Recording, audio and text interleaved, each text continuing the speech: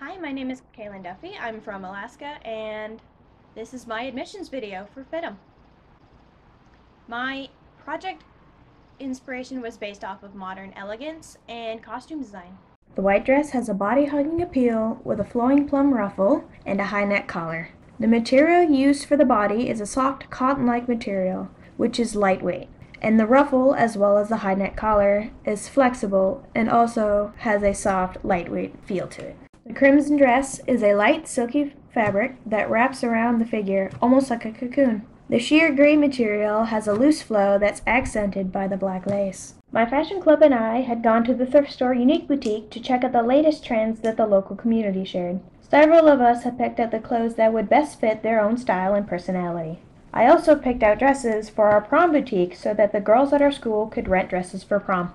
Many of the dresses we had for rent inspired my two modern designs, like the flow of the pink dress, the high collar of the black dress, and the form-fitting look of the blue dress. This feminine design was geared as a more professional look, with the darker gray vest, the lavender cuffed shirt, and the dark pattern of the plaid pencil skirt. With the fun ombre style of this blue dress and the dark denim jacket, this design has a punkish yet girly feel to it, complete with a thick black waist belt. On the costume side of fashion, the steampunk themed costume has a fitted burgundy corset, accented with a silky black ribbon. The bolero and the high-low ruffle skirt have corresponding colors of a harvest gold and a dark wood brown. The skirt does have a high waist made of a smooth material, which complements the corset and the high socks. The ruffles and the outside of the bolero are made of the tougher material that contrast with the softer gold fabric. The last design I actually drew up and constructed myself because this was my prom dress for my junior year. I based the design off of the Cheshire Cat, as shown with the blue and the gray ruffled stripes,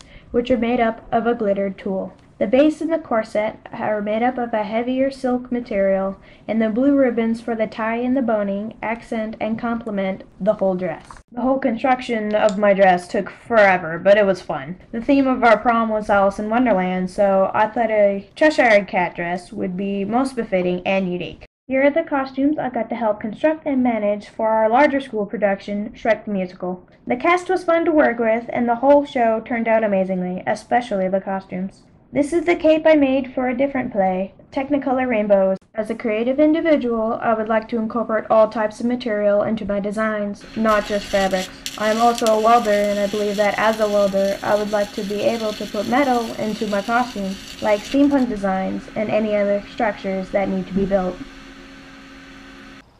Thank you for watching my video. I hope to see you soon in California for the Three Days of Fashion event.